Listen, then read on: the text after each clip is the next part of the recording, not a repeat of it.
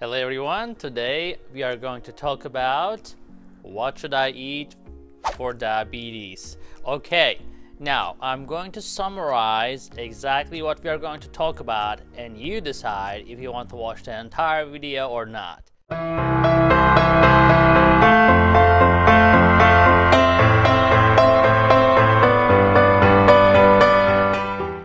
I am Dr. Ahmed Ergin. I'm the founder of SugarMDs.com and today you are going to get a very nice comprehensive review of diet and diabetes.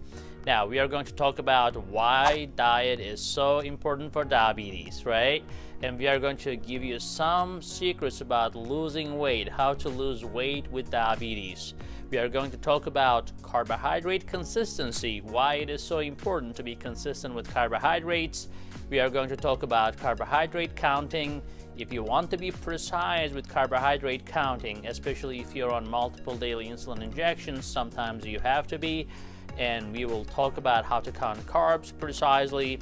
We are going to talk about the serving size, carbohydrates, fats, proteins, how much you should eat, how, how do you calculate, and the, at the end of the video, we are going to talk about what should I eat.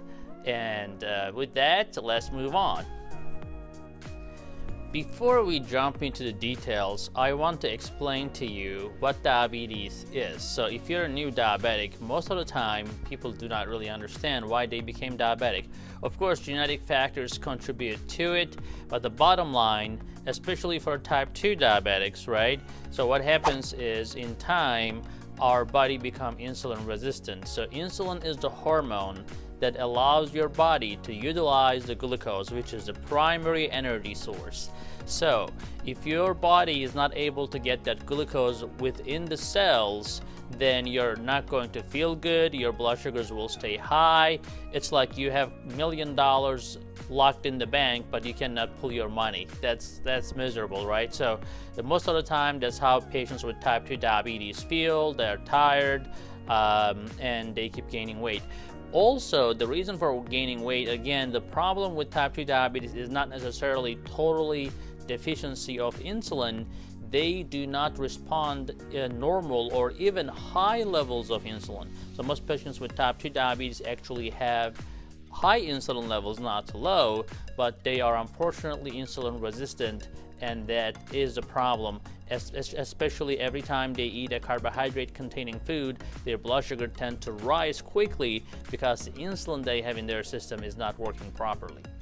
Okay let's talk about why diabetes is so important. Now when we treat anybody with diabetes we have something called ABC of diabetes right?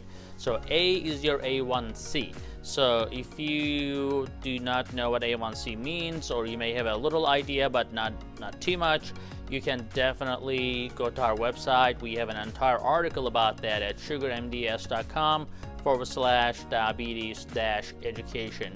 Uh, so, or just go to our website and go to the diabetes education tab and you will find our article about that. Now, uh, A is the A1C, right? And then B is the blood pressure and C is the cholesterol. So, if you bring your A1C down but do not control your blood pressure or your cholesterol, then you will still have problems. As we discussed in our previous videos, two-thirds of patients with diabetes die from heart attacks or strokes. And these happen not just because of a high blood sugar, but they also have accompanying blood pressure and cholesterol problems. And every time your blood sugar is high, your blood pressure and cholesterol goal is even normal than a normal individual. So you may get hit with a blood pressure of 150 over 90 with diabetes way faster than somebody who does not have diabetes. Cholesterol is the same way. A normal cholesterol doesn't necessarily uh, mean normal for a patient with diabetes. Their um, upper level is much lower when you have diabetes. So for example, the LDL cholesterol, the bad cholesterol, should be less than 100 for every diabetic.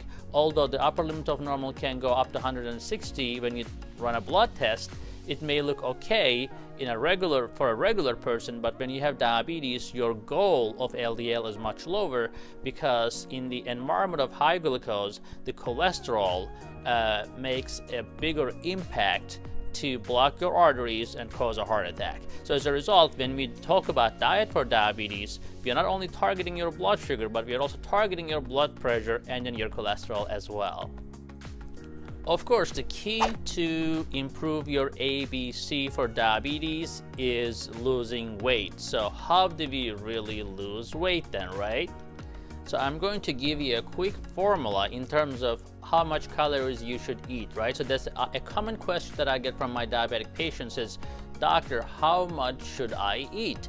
Now, of course, counting calories and counting carbs is going to be extremely useful, but if you don't know what you're count counting to, then that's not really going to help you, right? So you can count your calories, but if you're counting your 5,000 calories every day, of course, there's too much, everybody would know that. But if you don't know your personal goal, then you will never achieve the weight loss goals, which will improve your A1C, your blood pressure, and your cholesterol. Now, how do you determine uh, how much you should eat to lose weight? So, first you determine what is your basal uh, uh, caloric needs, right? So, uh, or overall needs for any individual who is an active. Let's say talk about an active man. And men and women are different. age makes a difference sometimes, but let's talk about an active man. When I say active man, somebody who's always out at work, uh, who works out, and, and, and those people generally require 15 calories per pound. So if you are 200 pound individual, that means that you're really, you know, muscular and fit. Uh, you're gonna need around 15 times 200 that is around 3000 calories that is to maintain your weight. So if you're a sedentary man if you're a woman uh, then you're probably or an active woman I would say an active woman, woman uh, and sedentary man uh, will need uh, 13 calories per pound.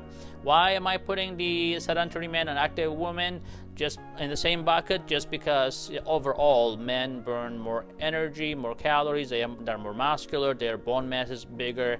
It's just a natural thing that the men burn more calories at the same uh, weight. So as a result um, 13 calories is if you're sedentary and if you're a woman active women we are looking around 13 calories per pound to maintain your weight okay? Now uh, the next uh, uh, next class would be uh, sedentary women or women who's uh, after menopausal or after in their 40s uh, generally they need 10 calories per pound to maintain their weight. Again, these are ballpark figures. You may have a high metabolism or lower metabolism, but that's not going to be like 50 to 60% difference. If you are an individual with low metabolism, maybe you will have a 20% less needs than a person with a high metabolism. Um, the common problem we see all the time is um, uh, underestimation of calories. Uh, it, the studies show that when men and women estimate that they're eating 1500 calories, they are typically eating around 2000, but they underestimate down to 1500. And that's because of the calculation problems, but also psychologically, we tend to underestimate um, that. So uh, if you're a pregnant woman, that would be around 15 to 17 uh, calories per pound. So once you determine that how much you need, uh, you need to subtract 500 to 1000 calories from that uh, number in order to lose one to two pounds of um, weight a week. And that is the healthy amount of weight that you can lose. So let's say a, a sedentary man uh, or, or let's say sedentary woman, uh, age of 42, and she is 150 pounds. So her needs are 1500 calories, right? So for her to lose one pound a week, she should go down to 1000 calories. And when I say 1000 calories, I mean it. That means that you have to calculate and be serious about, you know, when you're counting your carbs. And now we're going to move on to, you know, how to count carbohydrates and consistency and so forth. And that's going to give you a very good idea. Okay, let's start with carbohydrate consistency and carbohydrate counting. The reason we emphasize carbohydrate consistency in a lot of individuals is if you know what is coming in, then your medications can be adjusted a lot easier, right? So, so if you are on uh, let's say a glipizide or glyburide or glimepiride, uh, when the doctors give you that medication, your insulin levels go up. So if you are not providing a steady amount of uh, glucose to your system, uh, then your blood sugars will drop. Now, doctors will give you a dose based on what they estimate your needs are. And let's say you're taking 5 milligram of glipizide, right? And then you are eating 60 grams of carbohydrates per meal, and that is helping you out, great. Uh, you're not gaining weight, you're not losing weight, that is perfect. Uh, if you are gaining weight, that means that we have to cut down on your calories, including your carbohydrates. So sometimes we tell them to eat 45 grams, but that comes with a reduction in the medication dose as well. So I always tell my patients, do not change your diet drastically without telling me because the medications you're on is based on what your needs are at that time. If your needs change, your medications needs to change as well. And when you are not an expert in this area, when you try to manage yourself, when you doctor yourself, most of the time you will get put yourself into trouble. So please do not do that. So carbohydrate consistency is also important for people, as we said, taking oral medications, but uh, for patients who are taking insulin as well, if they're not willing to count carbs, as we discussed in our previous video where I talk about how to take insulin safely, uh, we uh, get into detail about this. Uh, but here I'm going to explain uh, briefly that if you are consistent with your carbohydrates per meal, then your insulin is also consistent, then they are going to match and you should not have any problem, right? So we are going to talk about how to really estimate because you cannot always look at the label. Sometimes you just have to estimate. And to estimate, we look at the um, the hand. Our hand is the best guide. So a fist will equal to a one cup of carbohydrates. So if you just make a small fist, look at the food, look at your fist, you can estimate that that will be a one cup of uh, that carbohydrate. Uh, your palm could be equal to three ounces. Again, the thickness of your palm and the, the width of your palm would determine uh, three ounces of uh, food. Typically, we use ounces for the protein. Uh, your thumb uh, will be around one ounce of food. So these are just general guidelines to help you. Uh, now with carbohydrate counting, uh, if you want to uh, get more education and training and want to be more into it and adjust your insulin as you go, because some people are not very regular, they just they're younger maybe or their lifestyle is uh, different they eat outside and so forth uh, they may not be very consistent. They may not uh, meal prep or they may not be home or whatever it may be uh, those people need more flexibility. For those patients um, especially if you're on insulin, uh, for them to be able to adjust their insulin, let's say one day at lunch they are taking 5 units, next day they are taking 10 units, next day they are taking 8 units, they can do that as long as they know what is their insulin to carb ratio is, which means that if they know how much insulin they need for a certain amount of carbs, let's say if let's say they need one unit for 15 grams of carbs, then they know that if they're eating 45 grams of carbs, then they are getting three units of insulin. Uh, or if it is one unit for 10 grams of carbs, then if they are eating uh, 45 grams, then they're gonna get four to five units of insulin. Um, so we are going to jump into now uh, how to uh, actually uh, estimate uh, how to do a plate method where we actually, uh, especially if you're a new uh, diabetic, we explain to you, you know, how, you, how to create a plate. Let's move on to that right now. Okay, this is how a plate should look like for pretty much any healthy individual, but also patients with diabetes. So basically, you should have one fourth of your plate consisting of carbs and this carbs should be right around the size of a small computer mouse. Does it look like a mouse? Yes, it does. Now, your meats also should be one fourth of your plate, and that should be at least three ounces. Uh, but depending on your body size and protein requirement, uh, you can definitely eat more protein. The key here is to eat a lean protein. That could be a lean uh, uh, chicken uh, or fish Uh, fish, fatty fish is okay because it's healthy fat. Uh, but for example, red meat has a lot of unhealthy saturated fat, so we are avoiding that. Uh, however, non-fatty lean meats are okay and if you are big and if you're working out trying to build muscle it is okay to have more meat unless you have special contraindications now the uh, greens are okay to have as much as possible at least half of your plate uh, one cup of uncooked vegetables is only 5 grams, so you don't have to count that.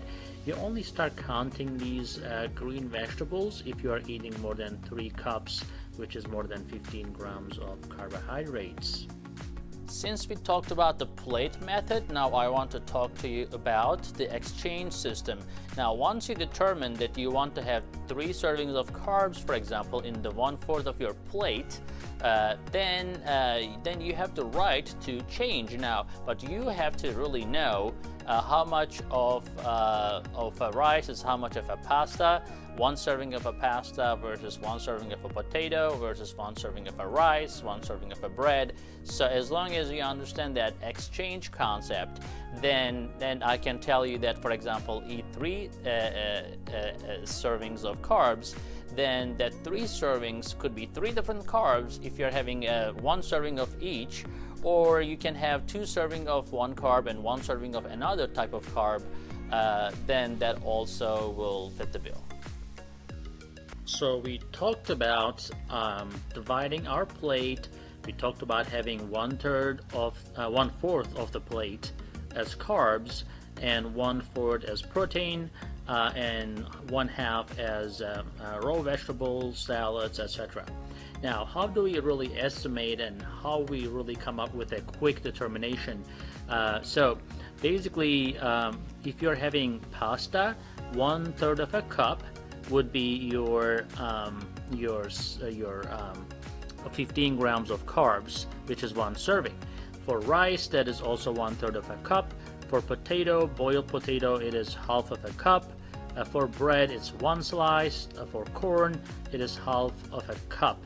Um, again, uh, the computer mouse can give you a size estimation in terms of your pasta, rice, potato, as far as one starch choice uh, as 15 grams.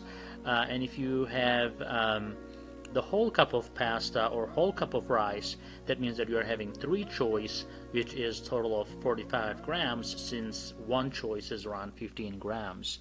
Again, you can change, you don't have to eat the same things, you just have to be consistent in terms of total carbohydrates you eat uh, in most cases. Or if you're counting carbs, you can uh, take a, very, a variable amount of insulin depending on how much carbs you're eating but if your doctor prescribed you a fixed amount of insulin per meal and uh, prescribed you a certain amount of carbs, uh, and if that is easier for you to do so rather than just uh, keep counting carbs, then you can just um, estimate how much carbs you're eating, trying to stick to your uh, ballpark figure around 45 to 60 or whatever is recommended for you. Um, and you can exchange pasta to rice, rice to potato, bread to corn, whatever you feel like eating, you all you have to know is how much of that food is equal to one exchange, which is 15 grams of carbs. When it comes to your protein, uh, this is your um, size, size of a deck of a card. Uh, cards that is basically is telling you that's around three ounces. Uh, you can use your palm as we discussed, so that is another way of doing it. Um, so palm of your uh, hand is around three ounces, or you can just imagine uh, a, a, size of a deck of cards. So you can this could be, this could be chicken, this could be fish or or beef, whatever it may be for those people for those people who actually want to precisely count carbs uh, it takes time and effort. Uh, yes you know sitting down with the educator helps but the educator is not going to infuse the information to your brain and lock it in.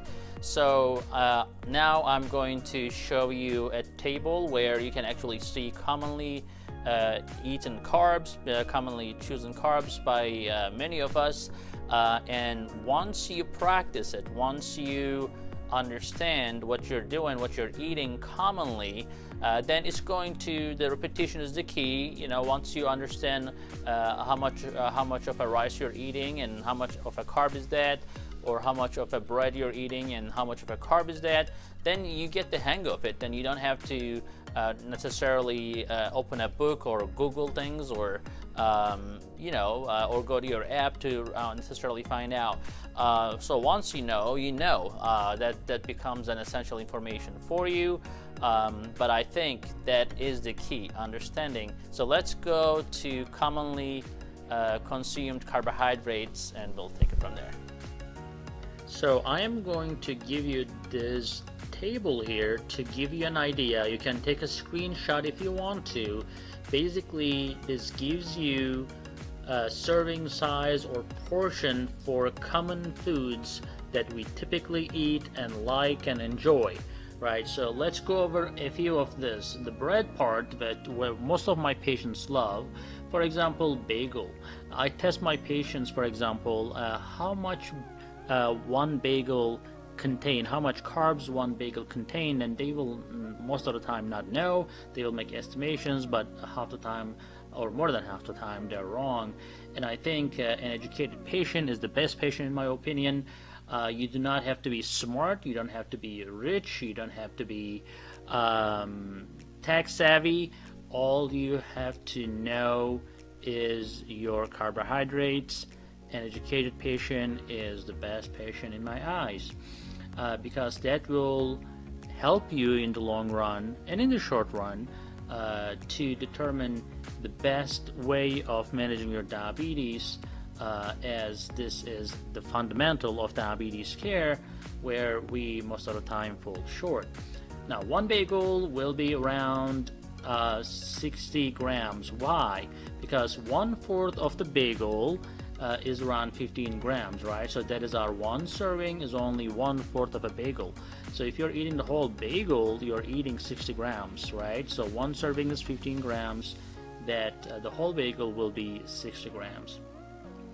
If you look at bread, if it is a very reduced calorie, which is hard to find, but if you do, you can have two slices of those uh, more like a typical bread uh, if you look at the label if the if the one serving is 15 grams then it's 15 grams. If the one serving is 10 grams it's 10 grams. You just need to know how much it is uh, per slice. English muffin typically is 30 grams the total thing. So half of that will be only one serving which is your 15 uh, grams. I wouldn't, I don't want to call it one serving because you do not just have to have just 15 grams, which is uh, too little actually. Uh, so most of us will eat 45, 60, or 75 depending on your activity level. Uh, so as a result, um, as long as you know that half of an English muffin is your 15 gram exchange, then when you know that you're eating two English muffins, you're pretty much having 60 grams of total carbohydrates or four servings of total carbohydrates. Your pancake is around one. Uh, your pita, six inches across, is um, if you're having half of that pita, that would be 15 grams. One plain roll um, would be um, one serving. A taco shell, uh, five inches across, will be two serving, which is 30 grams. A tortilla is one. A waffle is one if it is four by four. Again, your cereals, your couscous, your granola, grits, pasta, you can find all these here um, for your information. I'm not going to go over it because that is really a long list here. Again, your fruits, uh, a lot of people ask me, you know, what should they eat? We have a separate video in terms of the fruits and how much fruits can be eaten and their serving size, etc. Uh, but if you look at here, for example, banana is a lot of people's favorite. A half a banana, around 4 ounces, uh, will be your 15 grams. So if you're having a, a sizable banana, a full banana, then that will be around uh, 30 grams of carbs. Uh, on the other hand, um, apple, one small apple will be 15 grams. Um, uh, cherries, 12 of them would be uh, uh, 15 grams. Uh, three dates would be uh, 15 grams and so forth. Uh, again, the fruits have different glycemic indexes, so you need to pay attention to that as well. My favorite fruits are blueberries, blackberries, um, and let's see, orange is good in terms of the glycemic index being low. Uh, strawberries are good, raspberries are good. Watermelon is not that good, so you have to pay attention to that. Grapes are not that great. Honeydew is not good.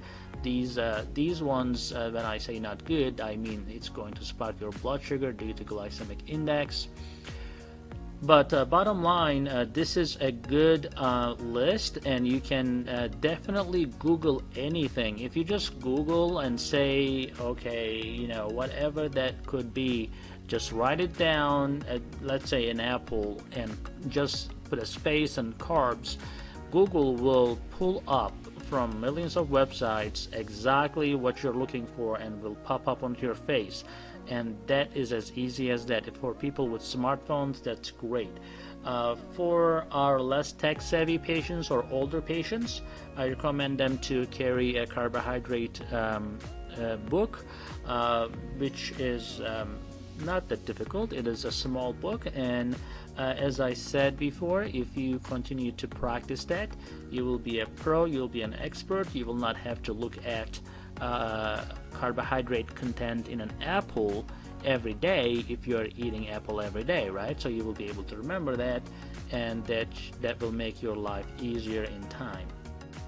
Okay finally we are going to talk about uh, reading labels. So basically uh, if you are shopping uh, and you have diabetes or not i recommend everybody to know how to read labels. That is going to uh, give you an idea what you're putting to your system. Uh, you could be an athlete, you could be a regular guy like just like me, or you could be a patient with diabetes.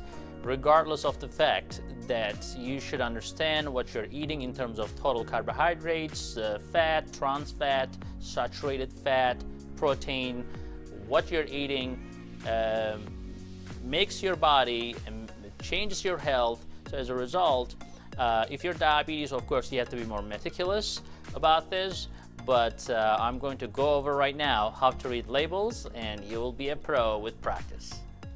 Okay, we will talk about uh, reading the nutrition labels. Very, very important. If you make it a habit of reading the nutrition labels, you are gonna be a pro before you know it. So, uh, I do that. Um, I don't have diabetes, but I'm a diabetes expert, and I feel like I have to know what I'm doing before I teach anyone else.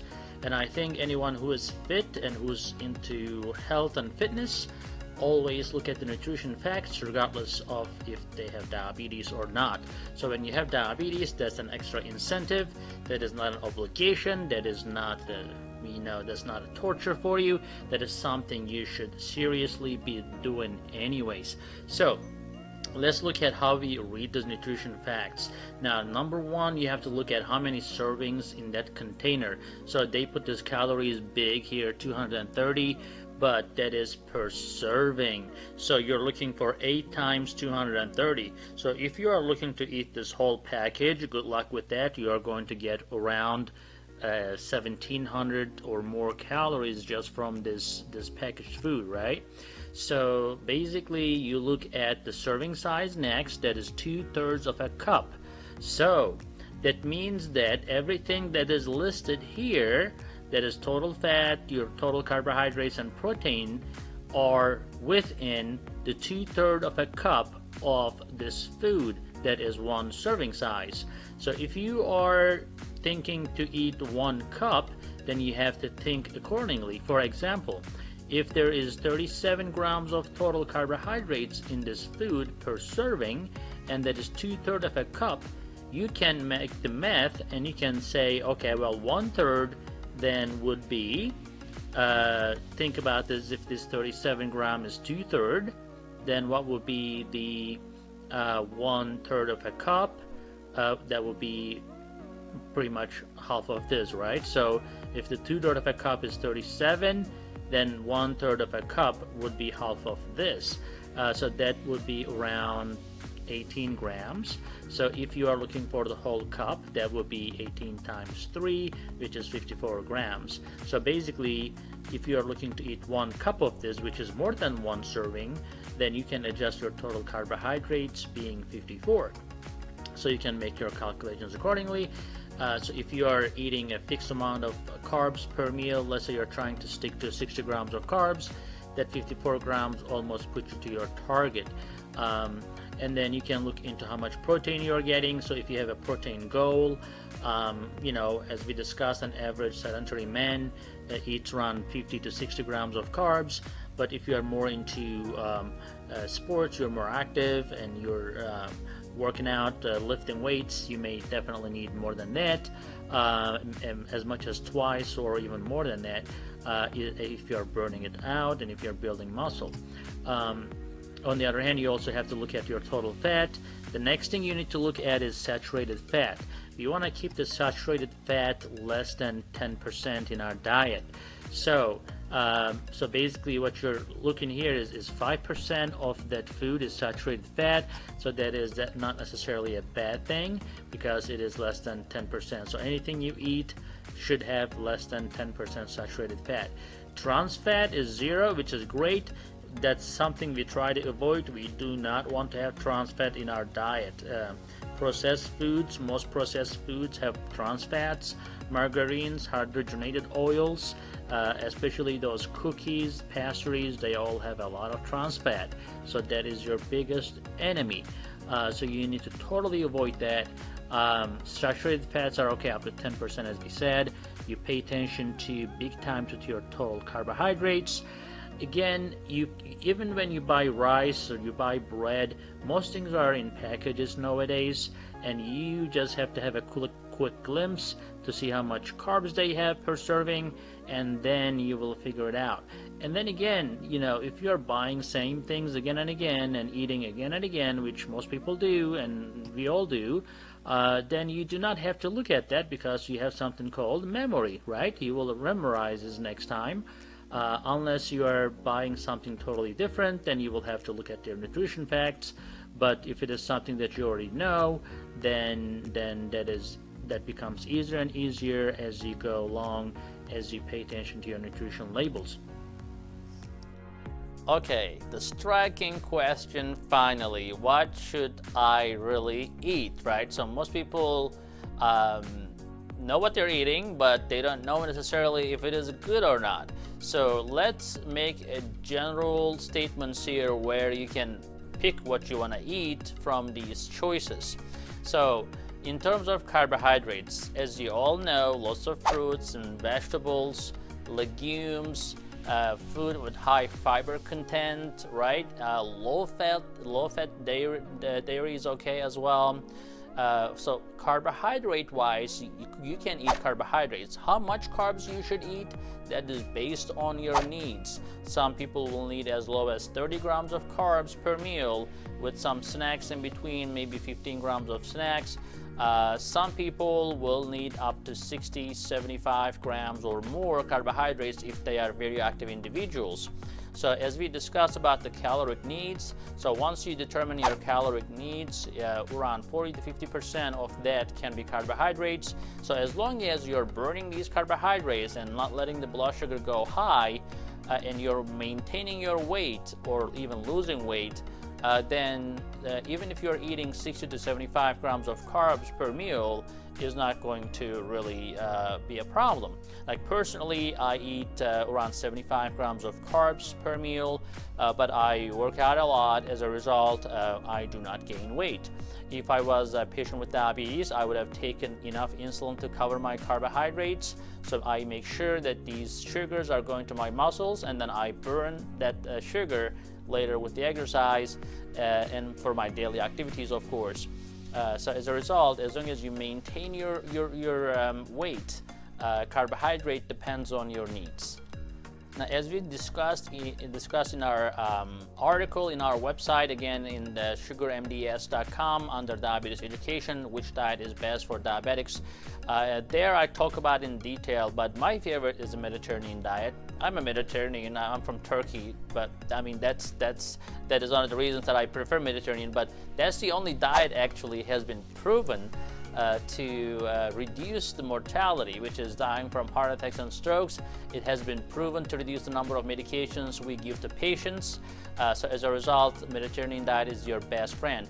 Of course, um, you can do low-fat diet, low-carb diet, low-salt diet, whatever it may be, as long as we are keeping your calories low and you are eating the right foods uh, you are still okay. So when you're on a low-fat diet, for example, that doesn't mean that you can go eat all the other carbs out there. You, you still have to choose the right uh, right amount of carbs. When you are on a low carbohydrate diet, um, some people, for example, follow these ketogenic diets and so forth, but they end up eating so much saturated fat that their cholesterol go up, and that's not our goal, right? So we have to make sure we control A, B, and C. Your A1C, your cholesterol, and your um, uh, your blood pressure at the same time. So we are looking to have high potassium, which comes from your uh, veggies and fruits, uh, that reduces your blood pressure, right? And then you choose the right carbohydrates, which is uh, low glycemic index carbohydrates, carbohydrates with high fiber.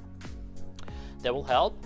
And uh, of course, uh, when you are eating in a Mediterranean diet, for example, you eat carbohydrates, proteins, and, and fat. When you choose fat, you need to choose fat with very low saturated fat. So uh, it is recommended to have less than 10% saturated fat in your diet. Again, saturated fats are commonly found in animal fat. So if you can avoid animal fat like steaks or red meat, uh, if you're eating red meat, it has to be really, really uh, lean. Um, but if you're eating chicken, for example, taking the skin off um, or trying to stick with the chicken breast uh, or turkey uh, will be really beneficial. Uh, that way you are getting the lean protein without the saturated fat in your diet. One thing that you have to totally avoid is trans fat. Trans fat recommendation for a, in a person's diet for any individual is zero. So trans fat never helps you. That is the basic source of heart attacks and strokes. So uh, hydrogenated oils commonly used in processed foods and commonly used in bakery. That's why we always tell patients avoid, avoid, avoid. Unfortunately, the biggest, uh, the biggest uh, uh fall uh, for our diabetic patients are bakery. Um, you know, of course, everybody likes bakery. Uh, you, you just need to limit it to as low as possible. So if you're if you like cookies, if you like to have cookies once a day, every day, instead of having three, four cookies, just have one. Take a walk after that. Uh, limit it, and I think you will still be uh, you'll still be winning. Um, but if you can totally avoid it, that's gonna give you the best health ever. Now, uh, now we talked about the carbohydrates, uh, we talked about the fat content. Uh, you are looking for polyunsaturated fat, which are found in sunflower oil, canola oil, and olive oil, right? Uh, nuts are extremely important. You know, when you are having nuts, actually, that not only satisfies your hunger, but also gives a good amount of fat. So we do not necessarily tell patients avoid fat totally, but you can have healthy fats such as olive oil, nuts, uh, canola oil are all fine. We do not recommend frying things uh, just because it increases your overall calories. Remember, when you're on a diet, you always have to keep your total calories in mind as we discussed in our previous, uh, in, our, in the beginning of the video you have to always keep in mind how much calories you are getting. And when things are fried, you know their calorie count goes sky high. No matter how healthy uh, the fat is, the overconsumption will still make you gain weight. And when you gain weight, you become insulin resistant, your cholesterol goes high anyways. So as a result, we have to keep our calories down, eat healthy fat, eat uh, the right amount of carbohydrates and the right carbohydrates And when it comes to the carbohydrates, as we discussed, it needs to be low glycemic index. Try to keep your glycemic index below 60 in most of, most of the carbohydrates you eat. Try to eat fiber in your diet. Around 25 to 30 grams of uh, fiber is recommended in a person's diet. Uh, in, that includes patients with diabetes. And when you count your carbohydrates, it is okay to take the fiber off. So if you're having 45 grams of carbs, but, but there's 10 grams of fiber in that, it is okay to count as 35. We call that net carbs. So I hope that video was helpful to you. And if it is, uh, please give a thumbs up and subscribe to our channel for many more videos to come so you don't miss anything.